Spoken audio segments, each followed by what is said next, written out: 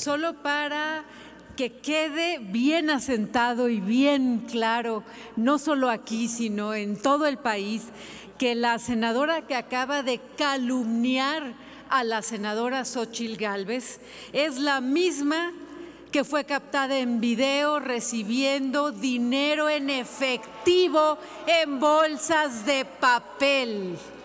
Que quede bien claro que la que calumnió a Xochil Gálvez es la que sale en video recibiendo cash en bolsas de papel. Y que quede claro que el senador de la voz gangosa, el del senador de los puñetazos, es el acusado por haberse quedado con dinero del Fondo de Reconstrucción del sismo del 2017. ¡Qué vergüenza, señores! ¡Qué vergüenza! ¡Qué corruptos son! De verdad que eh, somos solidarios, eh, tomamos en cuenta todos los fondos que pudieran ser factibles para la ciudadanía, pero difiero de la apreciación de Xochitl. Es la, no es la primera vez que señala que se le quite dinero al sureste, lo hizo cuando vino el secretario de Hacienda.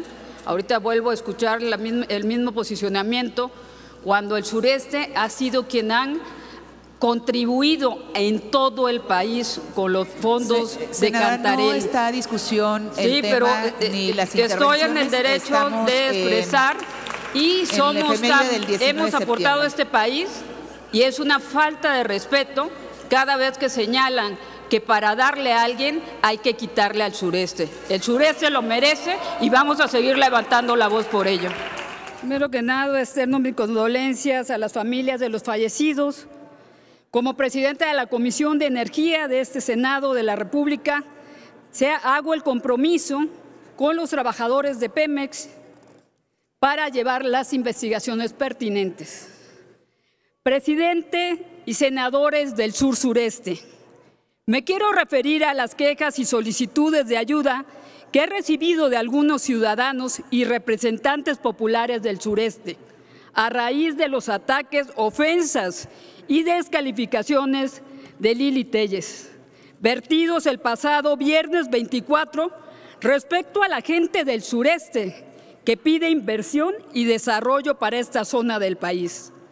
La senadora le respondió a un ciudadano que lo que corresponde a la gente del sureste no es pedir que la inversión toque ahí, que lo que les toca en el sureste es ya trabajar y que para empezar dejaran de votar por puro grillo sin qué hacer.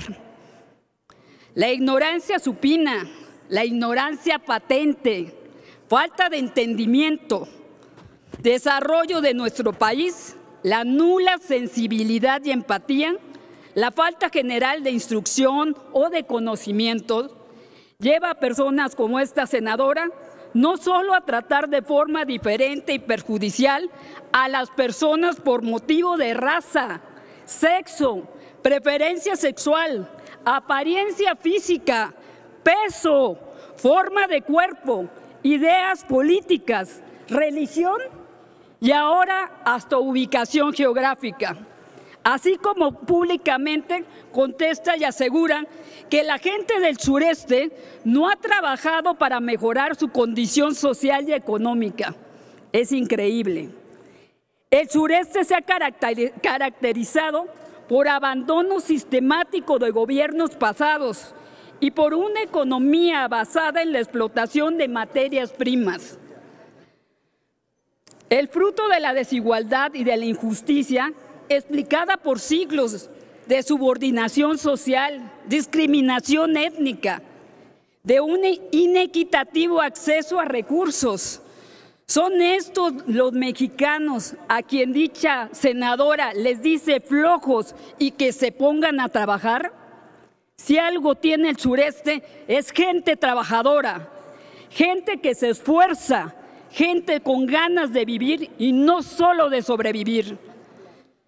Pregunto, ¿trabaja menos un campesino en una jornada de 12 horas que un licenciado?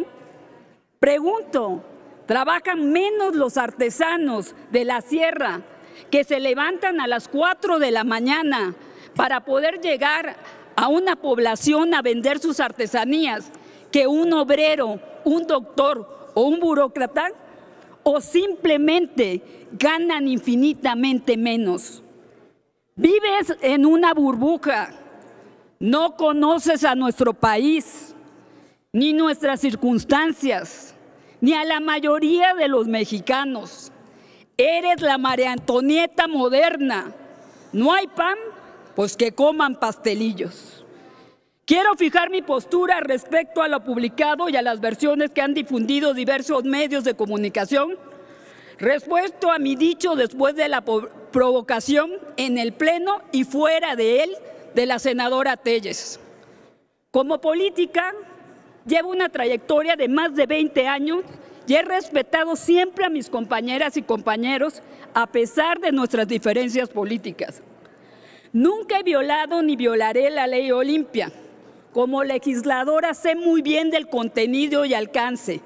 De hecho, yo la voté para su promulgación.